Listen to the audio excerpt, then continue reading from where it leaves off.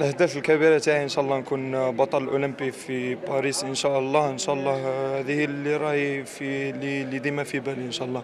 ولعب البحر الأبيض المتوسط إن شاء الله ثاني. إن شاء الله نخدموا القدام. ça fait plaisir كي يشوفونا هكا ويعاونونا باش نزيدوا ونتحفزوا ونخدموا القدام. وحاجة الله ça fait plaisir ثاني كاين أنا بالنسبة لي إن شاء الله يكون معنا الشعب وديما يشجعنا وهذا حافز لينا إحنا كرياضيين جزائريين.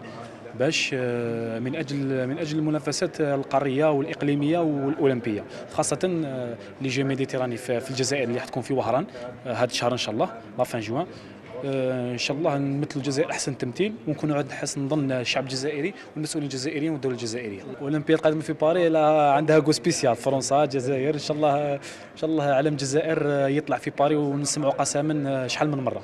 أكيد بعد خيبة أمل أولمبياد طوكيو اكتفاء بالمركز الخامس كأول مشاركة للقفاز النسوي. آه الآن ايمن خليف بميدالية فضيه من بطولة العالم آه، كأول مرة في تاريخ الجزائر وإفريقيا والعرب. هذا شيء يشرفني أنا ويشرفنا إحنا كجزائريين. آه طموحات خليف إيمان هي الحلم الأولمبي.